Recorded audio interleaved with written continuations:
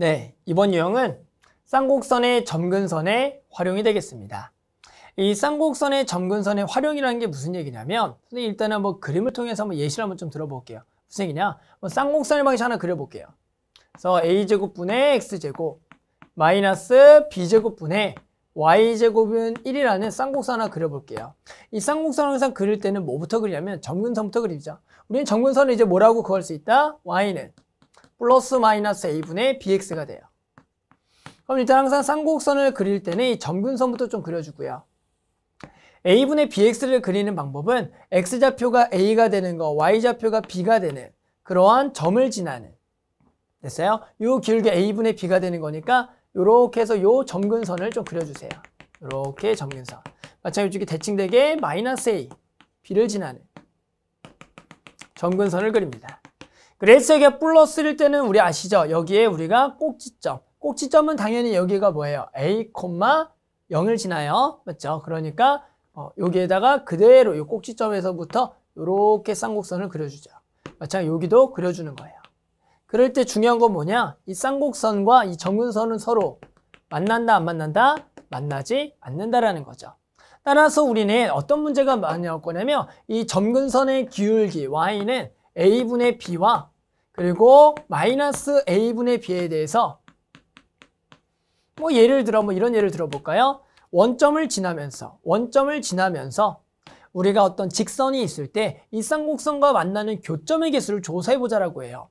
그럼 예를 들어 이 원점을 지나면서 기울기가 a분의 b인 직선이 있겠죠. 그럼 걔는 결국 이 쌍곡선과 만나요? 안 만나요? 그렇죠. 만나지 않을 거란 얘기예요. 하지만 얘가 보다 기울기가 모해진다면 보이죠? 얘보다 기울기가 조금이라도 작아진다면 무조건 우리가 이 쌍곡선과 얘는 그렇죠. 만날 수밖에 없다는 얘기입니다. 그래서 결국에는 이 쌍곡선의 결국에는 점근선의 기울기를 가지고 우리는 그 만나는 점들이 변할 거예요. 지금은 이제 원점이지만 마찬가지 여기서 한 칸을 몰려서 뭐 0,1을 지나면서 그러면서 마찬가지 점근선과 평행한 만약에 직선을 그어보면 이때 만나는 교점을 우리는 몇 개라고 할 거냐면 자 이쪽은 만나지 않죠. 이쪽도 실제로 한 점에서밖에 만날 수가 없어요. 왜? 나머지에서는 얘가 쭉쭉쭉 평행하게 거의 점근선에 근접하기 때문에 만나지 않거든요. 이럴 때도 하나가 되고. 근데 얘보다 살짝만 모해버리면, 작아버리면 이럴 때는 또 몇 점에서 만나냐? 이쪽에서 만나고 만나니까 두 점이다. 이런 식으로 이 쌍곡선의 방정식에서는 해당하는 점근선의 기울기와 비교를 통해 해당하는 쌍곡선과 직선에 만나는 교점의 개수가 달라집니다. 그래서 꼭 요거를 기억해서 문제를 좀 풀어주셔야 돼요. 아셨나요? 자, 두 번째는 뭐냐면 쌍곡선 a제곱분의 x제곱 마이너스 b제곱분의 y제곱 플러스의 두 점근선이 서로 수직이며 두 점근선의 방정식은 y는 플러스 마이너스 x를 이용하자. 뭐예요? 결국에는 하나의 점근선은 a분의 b고 하나는 마이너스 a분의 b인데 서로 수직이래요. 서로 수직이면 뭐예요? 기울기 얼마다? 마이너스 3잖아요. 즉 a분의 b와 곱하기 마이너스 ab를 곱했더니 얼마다? 마이너스 1이라고요. 그럼 당연히 이때는 뭐가 돼? 뿔뿔에 b제곱하고 뭐예요? a제곱이 같은 거죠. 그러니까 결국엔 b는 플러스 마이너스 a가 되겠다. 그러니까 결국에는 어차피 a는 양수로 해야 되니까 플러스가 돼서 우리는 이때는 b자리에 a를 집어넣으면 a를 집어넣으면 그렇죠. 얘가 a분의 ax니까 플러스 마이너스 x라는 직선이 된다. 이것은 실제로 구해봐도 너무나 당연한 성질이지만 이런 걸 이용해서 뭐 하겠다? 문제를 풀겠다라는 거예요. 됐나요? 자, 그러면 한번 예시 문제 같지 않아? 풀어볼게요. 예시 문제는 2010학년도 9월 모평 가형 12번입니다. 문제를 것 같이 한번 풀어볼게요. 자, 쌍곡선 9x, 9x제곱 마이너스 16, y제곱은 144에 초점을 지나고요. 점근선과 평행한 4개의 직선으로 둘러싸인 도형의 넓이를 구하라. 결국 우리는 뭐다? 초점을 지나며 점근선의 평행한 직선의 방정식을 구해서 도형의 넓이를 구해야겠죠. 일단 쌍곡선을 이쁘게 만들게요. 144로 나눌게요. 얘가 16분의 x제곱 마이너스 9분의 y제곱은 1이 되겠네요. 됐죠?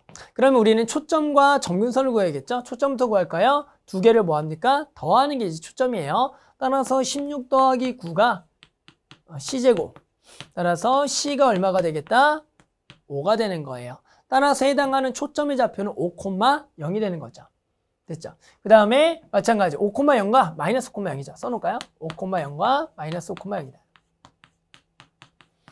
그 다음에 점근선 구할까요? 점근선의 기울기는 뭐죠? y는 플러스 마이너스 4분의 3x가 되니까 기울기는 얼마면서 4분의 4 플러스 마이너스 4분의 3이면서 5,0과 마이너스 5,0을 지나는 어, 그런 두여, 둘러, 둘러싸인 도형의 넓이를 구하면 되겠네요.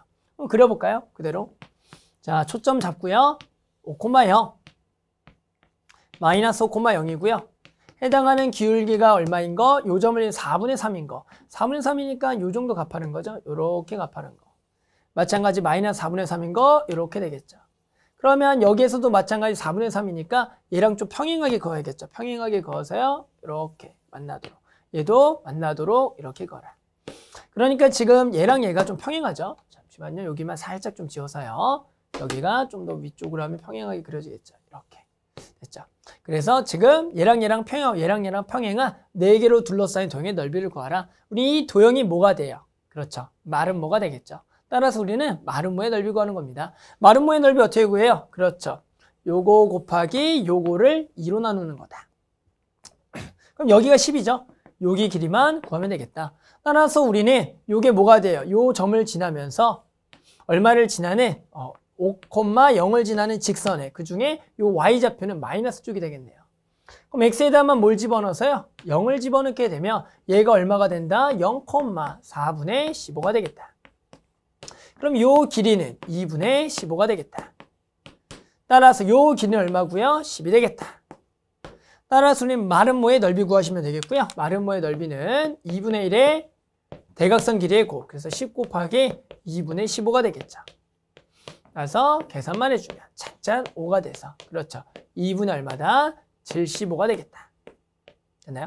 그래서 우린 점근선만 좀 구해주면 어렵지 않게 해당 둘러싸인 도형의 넓이를 구할 수가 있겠습니다.